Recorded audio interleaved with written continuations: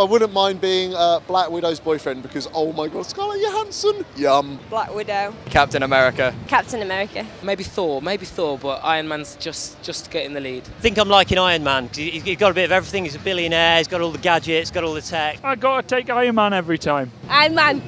Iron Iron Man. Iron Man as well it is, yeah. I think Iron Man because he's actually got no powers and he's just used his mind. It's pretty sweet. The Hulk because he's a beast. That's, that's all I'm going to say. I love the Hulk. Probably Hulk since he's the biggest and strongest. My favourite Avenger would have to be the Hulk. I like the Hulk. It's like big and tough. Hulk for me because he just smashes things. Hulk because he's just aggressive and he's just he's just a beast.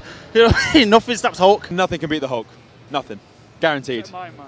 Guaranteed. No, guaranteed. Hulk is the best.